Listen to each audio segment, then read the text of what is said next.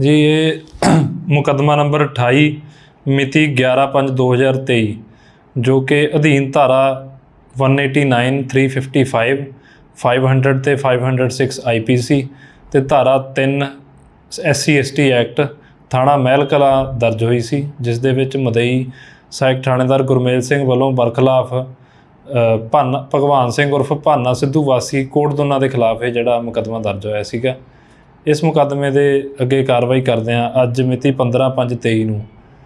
Incharge CIA Baljit Singh, inspector ਦੀ team ਵੱਲੋਂ ਜ਼ਿਲ੍ਹਾ Bathinda area ਦੇ ਵਿੱਚੋਂ ਦੋਸ਼ੀ ਭਗਵਾਨ ਸਿੰਘ ਉਰਫ ਭਾਨਾ ਸਿੱਧੂ ਨੂੰ ਗ੍ਰਿਫਤਾਰ ਕਰਕੇ ਮੁਕੱਦਮਾ ਦੇ ਵਿੱਚ ਕੀਤਾ ਗਿਆ ਤੇ ਜਿਹਨੂੰ ਕੱਲ੍ਹ ਨੂੰ ਮਾਣਯੋਗ ਅਦਾਲਤ ਵਿੱਚ ਪੇਸ਼ ਕੀਤਾ ਜਾਵੇਗਾ ਤੇ ਮੁਕੱਦਮੇ ਵਿੱਚ ਅਗਲੀ ਤਫਤੀਸ਼ ਜਿਹੜੀ ਹੈ ਉਹ ਅਮਲ ਵਿੱਚ ਲਿਆਂਦੀ ਜਾਵੇਗੀ। ਜਿਹੜਾ ਮੁਕੱਦਮਾ ਹੈਗਾ ਇਹਦੇ ਵਿੱਚ ਇਹਦੇ ਨਾਲ ਇੱਕ ਦੋਸ਼ੀ ਹੋਰ ਹੈ, ਅਮਨਾ ਸਿੱਧੂ, ਉਹ ਵੀ ਵਾਸੀਆਂ ਨੂੰ ਕੋਟ ਦਿੰਦਾ ਹੈਗਾ। ਉਹ ਵੀ ਇਹਦੇ ਵਿੱਚ ਨਾਮਜ਼ਦ ਹੈ, ਉਹਦੀ ਹਲੇ ਗ੍ਰਿਫਤਾਰੀ ਬਾਕੀ ਹੈ ਹਾਂਜੀ, ਇਹ ਪਿੰਡ ਗੁਮਟੀ ਜ਼ਿਲ੍ਹਾ ਬਠਿੰਡਾ ਦੇ ਵਿੱਚ ਇਹ ਲੁਕਿਆ ਹੋਇਆ ਸੀਗਾ, ਜਦੋਂ ਸਾਡੀ ਸੀਆਈਏ ਦੀ ਟੀਮ ਇੰਸਪੈਕਟਰ ਬਲਜੀਤ ਸਿੰਘ ਦੇ ਅੰਡਰ ਉੱਤੇ ਪਹੁੰਚੀ, ਇਹਨਾਂ ਨੂੰ ਇਨਫੋਰਮੇਸ਼ਨ ਹੋਈ, ਤਾਂ ਇਹਨੇ ਉੱਥੇ ਭੱਜਣ ਦੀ ਕੋਸ਼ਿਸ਼ ਕੀਤੀ, ਖੇਤਾਂ ਦੇ ਵਿੱਚ ਦੀ ਭੱਜਿਆ ਤੇ ਆਪਣੀ ਟੀਮ ਨੇ ਇਹਦੇ ਪਿੱਛੇ ਲੱਗ ਕੇ ਜਿਹੜੀ ਮੁਸਤੈਦੀ ਦੇ ਨਾਲ ਇਹਨੂੰ ਉੱਥੋਂ ਗ੍ਰਿਫਤਾਰ ਕੀਤਾ We are a multicultural network community. We groom competent global citizens to effect positive change around them.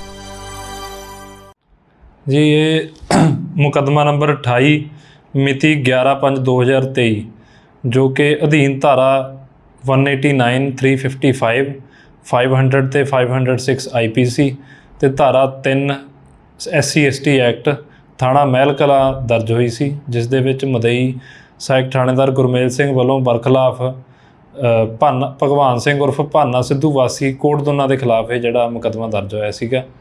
ਇਸ ਮੁਕੱਦਮੇ ਦੇ ਅੱਗੇ ਕਾਰਵਾਈ ਕਰਦੇ ਹਾਂ। ਅੱਜ ਮਿਤੀ 15/5/23 ਨੂੰ incharge CIA Baljit Singh, inspector ਦੀ ਟੀਮ ਵੱਲੋਂ ਜ਼ਿਲ੍ਹਾ ਬਠਿੰਡਾ ਏਰੀਆ ਦੇ ਵਿੱਚੋਂ ਦੋਸ਼ੀ ਭਗਵਾਨ ਸਿੰਘ ਉਰਫ ਭਾਨਾ ਸਿੱਧੂ ਨੂੰ ਗ੍ਰਿਫਤਾਰ ਕਰਕੇ ਮੁਕੱਦਮਾ ਦੇ ਵਿੱਚ ਕੀਤਾ ਗਿਆ ਤੇ ਜਿਹਨੂੰ ਕੱਲ੍ਹ ਨੂੰ ਮਾਣਯੋਗ ਅਦਾਲਤ ਵਿੱਚ ਪੇਸ਼ ਕੀਤਾ ਜਾਵੇਗਾ ਤੇ ਮੁਕੱਦਮੇ ਵਿੱਚ ਅਗਲੀ ਤਫਤੀਸ਼ ਜਿਹੜੀ ਹੈ ਉਹ ਅਮਲ ਵਿੱਚ ਲਿਆਂਦੀ ਜਾਵੇਗੀ। ਜਿਹੜਾ ਮੁਕੱਦਮਾ ਹੈਗਾ ਇਹਦੇ ਵਿੱਚ ਇਹਦੇ ਨਾਲ ਇੱਕ ਦੋਸ਼ੀ ਹੋਰ ਹੈ, ਅਮਨਾ ਸਿੱਧੂ, ਉਹ ਵੀ ਵਾਸੀਆਂ ਨੂੰ ਕੋਟ ਦਿੰਨਾ ਹੈਗਾ। ਉਹ ਵੀ ਇਹਦੇ ਵਿੱਚ ਨਾਮਜ਼ਦ ਹੈ, ਉਹਦੀ ਹਲੇ ਗ੍ਰਿਫਤਾਰੀ ਬਾਕੀ ਹੈ। ਹਾਂਜੀ, ਇਹ ਪਿੰਡ ਗੁਮਟੀ ਜ਼ਿਲ੍ਹਾ ਬਠਿੰਡਾ ਦੇ ਵਿੱਚ ਇਹ ਲੁਕਿਆ ਹੋਇਆ ਸੀਗਾ, ਜਦੋਂ ਸਾਡੀ ਸੀਆਈਏ ਦੀ ਟੀਮ ਇੰਸਪੈਕਟਰ ਬਲਜੀਤ ਸਿੰਘ ਦੇ ਅੰਡਰ ਉੱਤੇ ਪਹੁੰਚੀ, ਇਹਨਾਂ ਨੂੰ ਇਨਫੋਰਮੇਸ਼ਨ ਹੋਈ, ਤਾਂ ਇਹਨੇ ਉੱਥੇ ਭੱਜਣ ਦੀ ਕੋਸ਼ਿਸ਼ ਕੀਤੀ, ਖੇਤਾਂ ਦੇ ਵਿੱਚ ਦੀ ਭੱਜਿਆ ਤੇ ਆਪਣੀ ਟੀਮ ਨੇ ਇਹਦੇ ਪਿੱਛੇ ਲੱਗ ਕੇ ਜਿਹੜੀ ਮੁਸਤੈਦੀ ਦੇ ਨਾਲ ਇਹਨੂੰ ਉੱਥੋਂ ਗ੍ਰਿਫਤਾਰ ਕੀਤਾ। We are a multicultural network community. We groom competent global citizens to effect positive change around them.